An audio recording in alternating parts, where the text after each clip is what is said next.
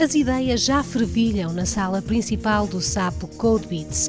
A contagem decrescente para o concurso de programação agarra os participantes aos portáteis. Nós somos programadores, somos bons em qualquer coisa, temos que pegar nessa qualquer coisa em que somos bons e fazer algo de volta para a sociedade. E o que fizeram foi tão bom que lhes valeu a vitória no Sapo Codebeats. As opiniões do júri e do público foram unânimes.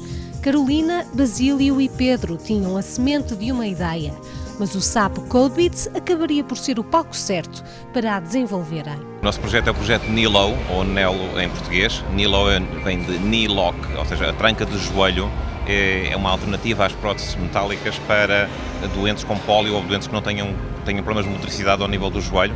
Eh, é uma, é uma ligadura têxtil que consegue ser flexível e automaticamente passar para um estado rígido conseguindo com isso travar o joelho e permitindo apoiar naquela perna em segurança e depois voltar a desbloquear e permitir a passada, vai alternando de acordo com os sensores que detectam a intenção do utilizador. Os vencedores falam do sangue, suor e lágrimas das primeiras 48 horas do Code Beats resumidos no terceiro dia em 90 segundos. A concurso estiveram 50 projetos apurados para a final do concurso de programação. A qualidade está a subir. O projeto que venceu é, é muito interessante porque aplicaram uh, a duas tecnologias, por menos que estavam aqui a ser demonstradas no CodeBeats. Uma foi a 3D Printing com o nosso parceiro Be Very Creative e outra foram os biosinais com o Vitalino. A plateia esteve cheia e, apesar de continuar a ser essencialmente masculina, a verdade é que este ano a presença feminina foi mais notada. Mas o Code Beats é sempre mais do que o concurso de programação. Escolhas não faltam entre as diversas palestras, as demonstrações tecnológicas ou as opções de entretenimento.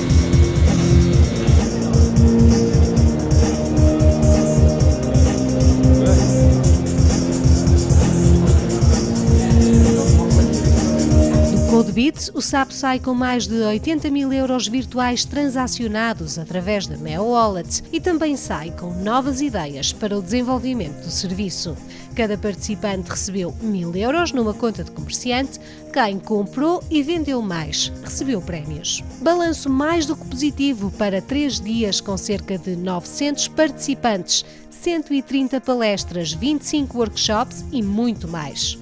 Eu sei que digo isto todos os anos, tenho consciência disso, mas acho que este ano aconteceu algo no Code Beats. Foi, uh, demos um salto muito grande em termos de diversidade de conteúdos. Uh, foi o Code Beats com mais parcerias de sempre. Uh, os projetos subiram muito em qualidade e temos uns índices de satisfação para já dentro do evento muito altos, os oradores adoraram. Eh, os portugueses e os estrangeiros, por isso correu tudo muito bem, não tivemos problemas demais. Própria, os próprios voluntários e organização, excepcionalmente este ano, conseguiram dormir, alguns deles, portanto estou muito satisfeito. Acho que a máquina está oleada, o conceito funciona, é vencedor. Vencedor é também um dos momentos mais picantes do Code Beats. Foi assim o Nuclear Chili, de pôr a boca a arder.